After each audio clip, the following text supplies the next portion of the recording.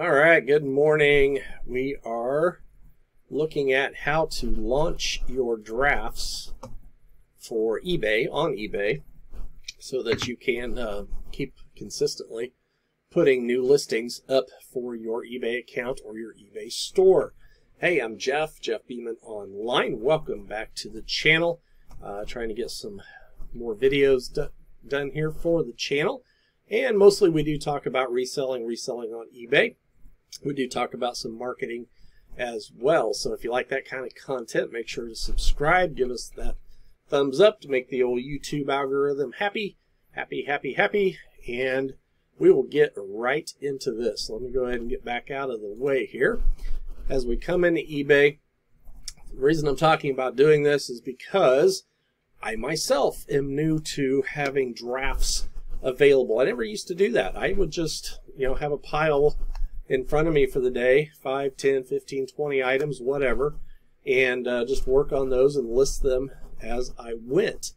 And the more i heard different people talking about having their drafts set up the more curious i got to the idea of why don't i have that done?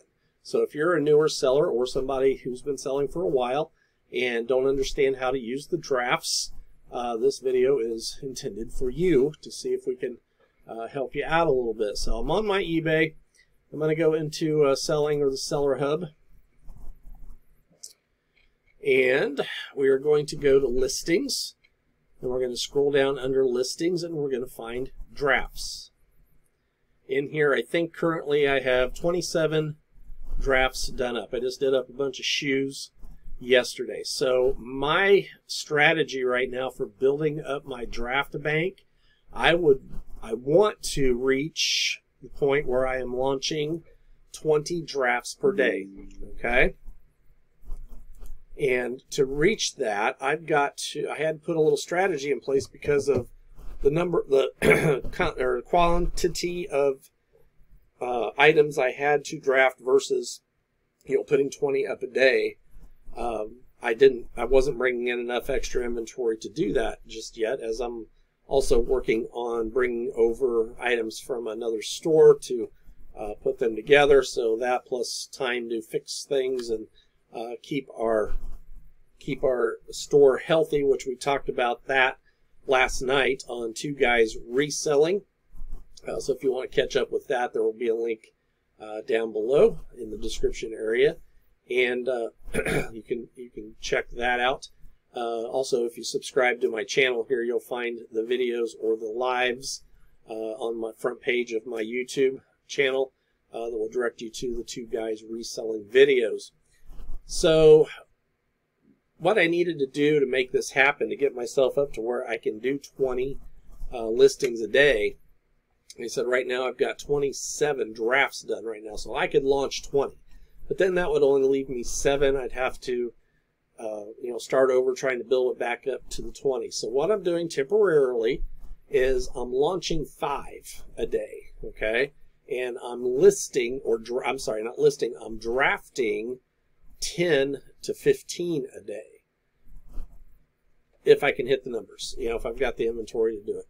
Uh, and right now I do. I think I've got another, you know, 10 or 15, uh, some media down here that will be drafted today. So what I'm doing is I'm going in and going one, a two, a three, a four, and a five. And these have been drafted now for several days. I just haven't uh, done anything with them. So I, you know, I, I go through the process of listing an item, but I hit save for later. So it saves to the drafts.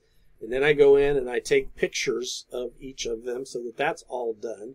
So all I have to do is just go in and click these first five that I want, the oldest that's been in here and I'm going to go up here and I'm going to go resume drafts. And that should bring these five drafts into play. And if there's any, you know, exclamation points or anything like that that I feel like I need to look at, uh, normally these blue ones are just telling you maybe there could be more item specifics uh, put on there.